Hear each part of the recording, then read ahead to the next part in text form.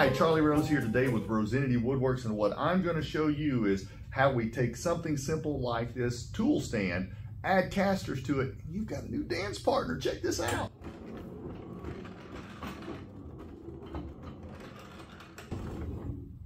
She may not be as cute as you want her to be, but these casters on this tool stand are going to make your life in your shop easy, whether your shop's big, small, or somewhere in between.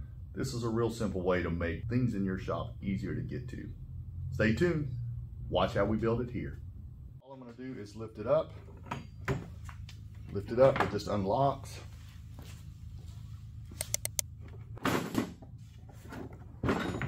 One of them pops back. Here we go. And the front one. There we go. So they're securely in place and it makes it real easy to access um, as far as making it to where you don't have to stoop down and do it too. And because these are somewhat tight together, it's easier to tip up. You just want to make sure you, if you have anything on here, it doesn't come flying open or falling off the top. But you can see now, we're good to go. All right, now that we've got that in place, let's go ahead and take these items off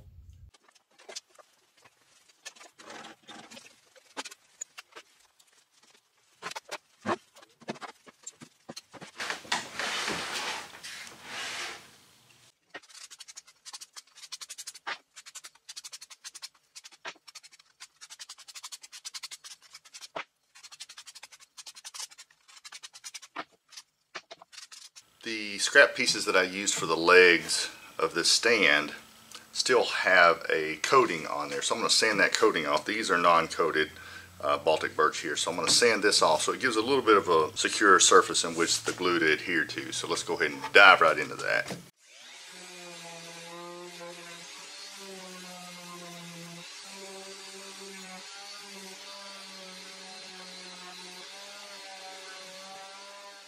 So we're going to go ahead and add these blocks. I've got three 18 millimeter blocks and we're going to, they've been ripped down the side to be flush with this particular part of the table leg.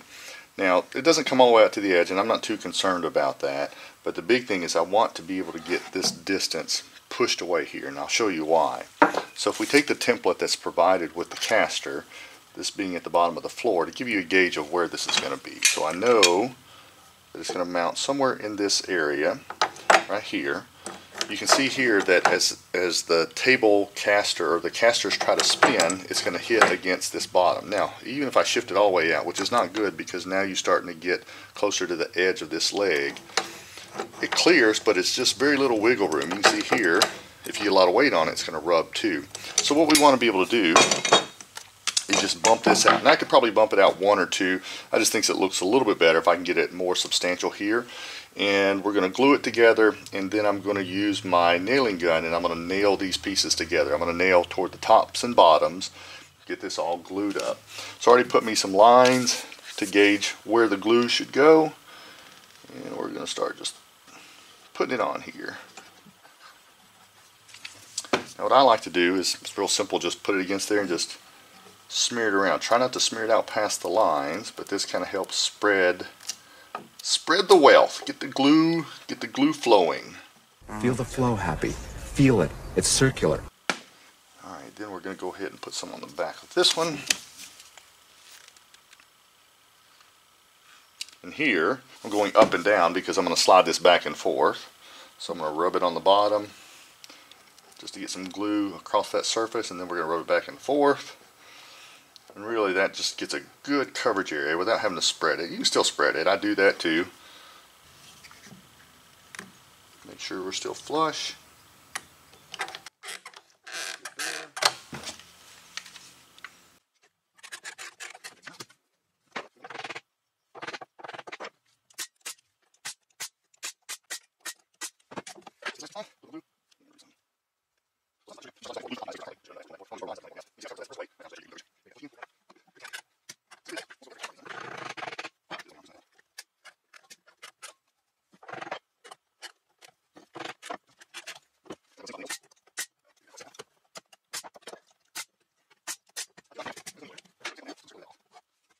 Okay, so I actually goofed, and fortunately we caught it before I got completely done with it, but there is some a little bit of collateral damage there, and I'll show you what I did, the mistake that I made.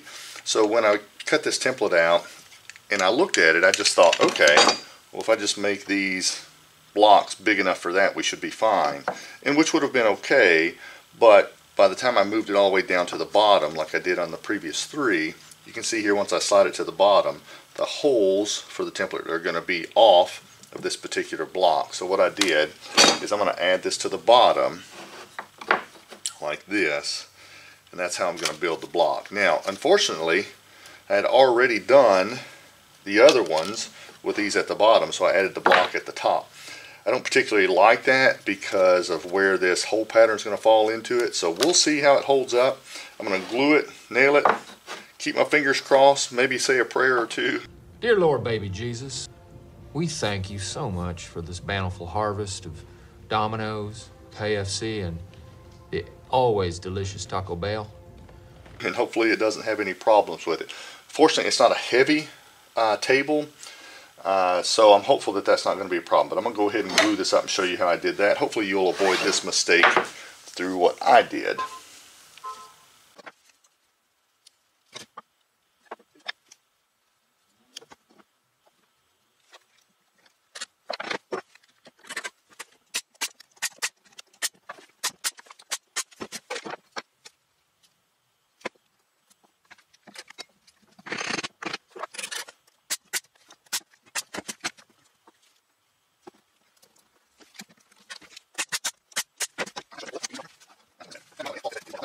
Alright, so now that I've got the blocks, we should be good to go.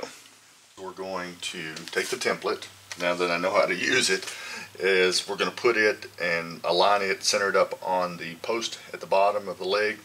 And essentially what that allows me to do is come in with a center punch and I'm just going to go ahead and put these holes in. I've already done this first one here. I've got my drill bit set, so I'm going to go ahead and drill these out. And hopefully we don't hit anything such as a nail in there. I don't think we will.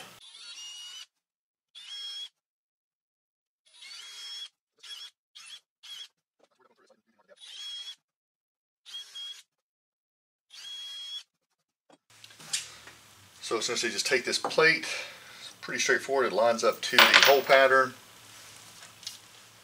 and just go to town. And then come back and finish up, right?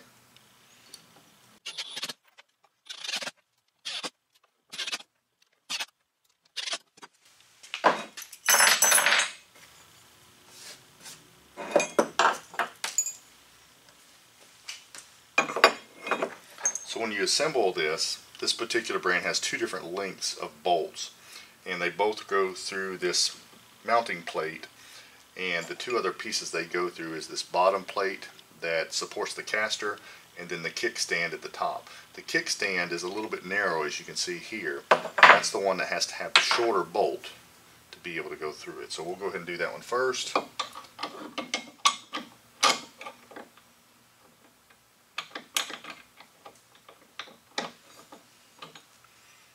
And it's got little lock washers here. And it comes with a little handy tool that comes with the um, kit. Now, I remember in the past installing these, if you try to use a socket in some places, here's a not an example of where that's necessarily the case, but these are handy. Um, a little clunky to work with, but it's well thought out in terms of the design itself. So we're just going to go ahead. Lock nut again.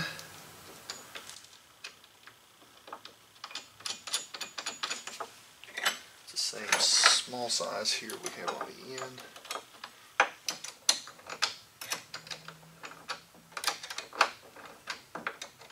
Same thing, you don't want to get so tight, and you may not be able to, but you don't want to get so tight that you make anything binding. It needs to be able to be freely moving, but it's rigid enough. Yeah, I don't think it's going to be able to. There we go. Tips up, out of the way, tips down and activated. That locks it in place. You can see there, it won't push up until I release this. Then all we have to do is add the wheel, and you've got a large nut for that as well. This is where in the past it's a tricky thing to do. Um, I think it only came with one of these and it wasn't quite as detailed with all the different hole sizes. Um, but when you put this on and you put the nut on, you can see it here. So far so good. You're thinking, ah, I'll just put a socket on that end. Well, you need to hold that nut. Well, it's very shallow. There's not a lot of clearance in there. Now, in the, the clever design that they did with this tool, it allows you to slide it right in there. And then I can take this one and put it on top. And like I said, I could just easily use a socket to do that. But I'm going to go ahead and use the tool provided here. Out of the way so you can see that a little better.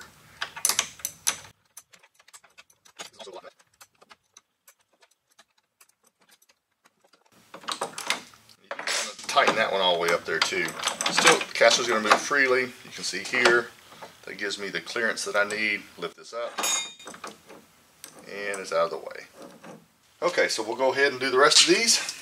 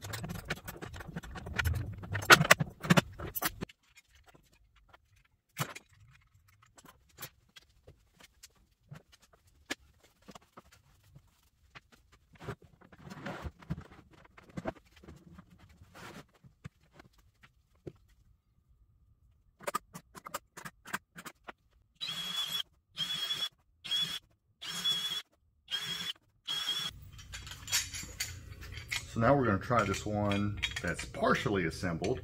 And I did that to be able to show the challenges earlier.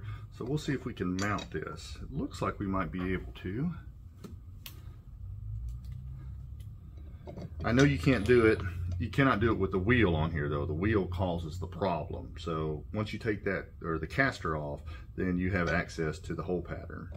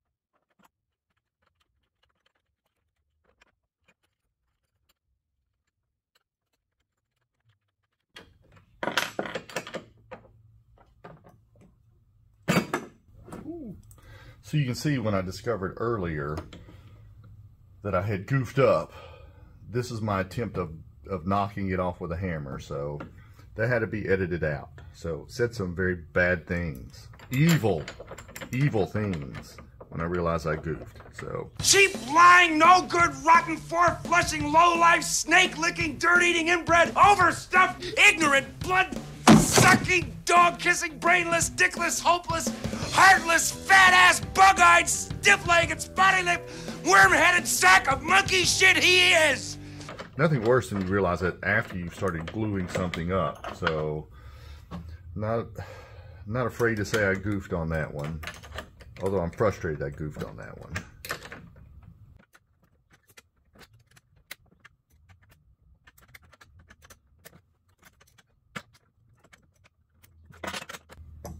All right, that looks good. Now, this is probably my fifth or sixth set. And each time, unless I'm mistaken, it's been the same brand. The reason why that's important is because every time that I've gotten a set in, it's gotten better. It's like they've taken the feedback from others and said, hey, maybe you should do this. Maybe you should change the, the little um, wrench or add this to it. So every time it's gotten better. So this one has improvements over the last time. I don't remember there being multiple wrenches in there, but now there's two in this set. Um, I don't remember it quite being assembled the same way either. So maybe it was partially assembled when I got it, but this is pretty easy to do. I think I prefer mounting it like this last one where the plate, take the mounting plate and mount that, and then assemble it, the rest of the caster assembly on the mounting plate. I just think it's easier to do that. So now, we're gonna see if we can lift this up and put it down. It's gonna be my workout for the day.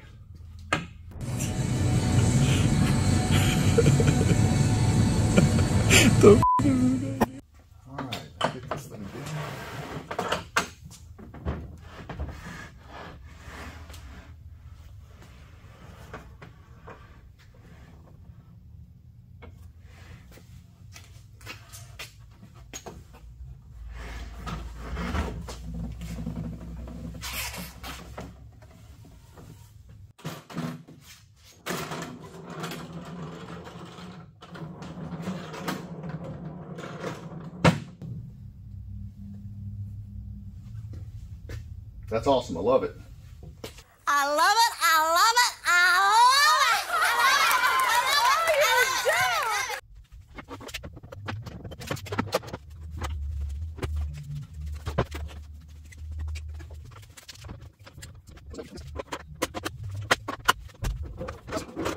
just what the doctor ordered.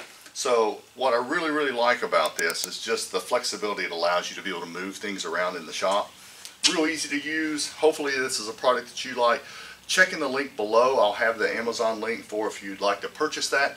Now keep in mind the links that I have there, those are affiliate links. If you decide to purchase, there is a little bit that comes back to me. It doesn't change the price of what you pay for, but it does help me in terms of growing the channel and being able to recommend these types of things through Amazon. So I like that. Hope you like it. This is probably my seventh set that I've purchased.